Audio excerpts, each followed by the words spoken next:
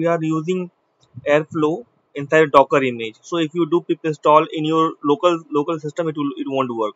So right now we are using whatever image we are using. So we, we have to import that image. We have to extend the image with our uh, newly created docker image. So what i mean to say is you have to create one docker image and in that docker image you have to import your library okay? So this is very simple. You have to follow certain step here. So i have already prepared the step. So what what we need to do is you have to create one requirement.txt file. Let's suppose that i want to import tweepy library. Because we i want to download data from twitter for that we need to import tweepy that's what i was trying to do but it was not working.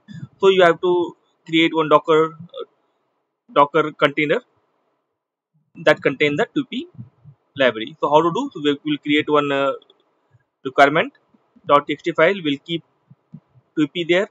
And then again we have to create docker file.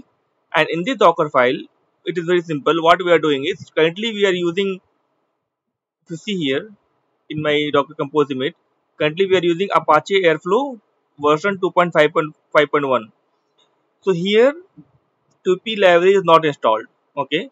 So we will extend this one so how to do? So from this image okay we will copy first our newly created requirement.txt file inside docker container and then we will in install this one. This is very simple.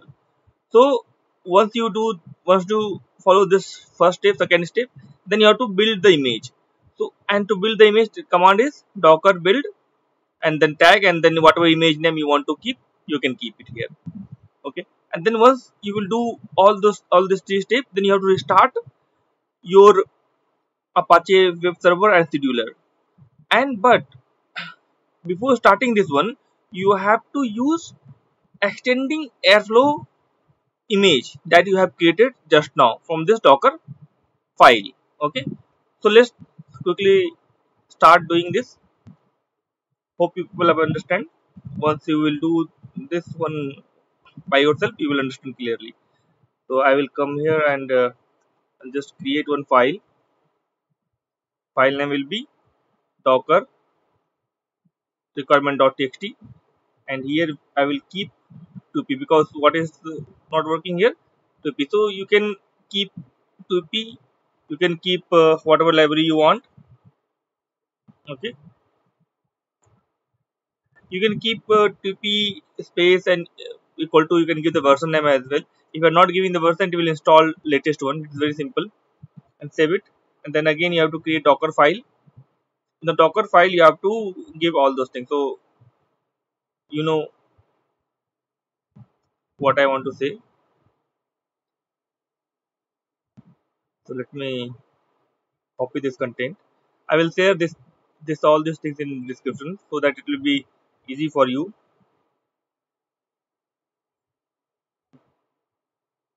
okay hope you have understood these things. It's very simple. And then after doing this these two things we need to build the image.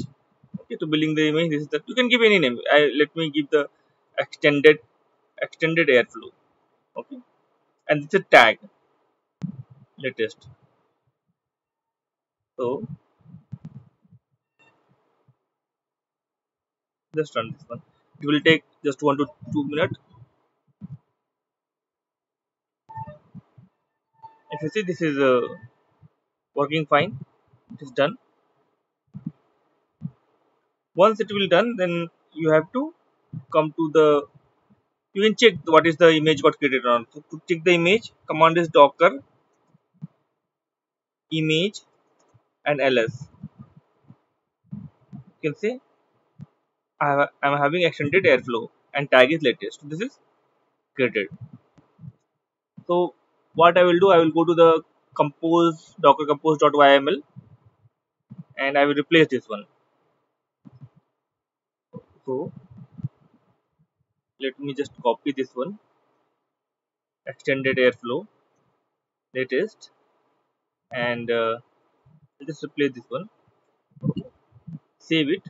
Then you can you have to to start web server and scheduler again to start this. This is the command.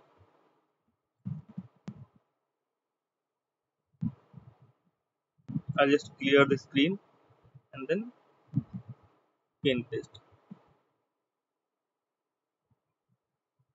It will take some time to recreate.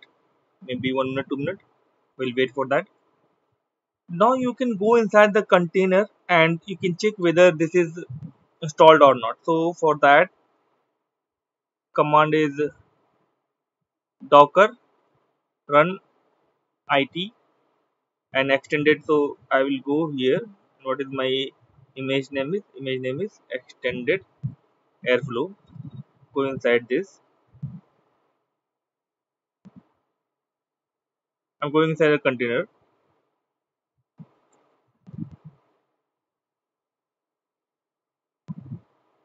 Now you go inside the python and then first check whether it is imported or not so tweepy you can see this is working fine. So this, this is the way you can check. So now i will go to our ui and i will just refresh it. It will take some time to make this web page up. So we will wait for that. So now you can see this is up and running fine. Login here now you are not getting any error right? You see there is no error saying that import import problem. So now if i will this is my i have already created one python file where i'm just testing tweepy version. If you see this simple python file simple dag i'm just importing one python operator and i'm just printing tweepy version and just importing tweepy so before if you are not in, have done this extended uh, extended uh, image things then you would have getting the error. But after doing the creating a docker image and using that docker image in your compose file you will not get this error. So I'm just this is simple. This is I you know how to do this one. So I've just changed the version to 2 to 3 so this is uh, Python operator. I'm just calling this python file python function here and it will this python function just printing this tweepy version okay? So refresh it. This is my tweepy p3 open this one and run it.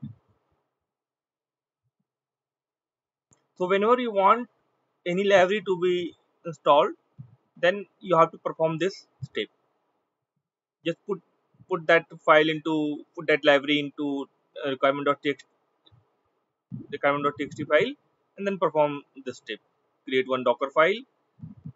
Docker file will be always there. So so next time you want to to do just update in the requirement.txt create one image and then extend that image here. And then start your web server and scheduler. That's all nothing else. So if you see I have ran it. So it is import tweepy working fine. And if you see here it is printing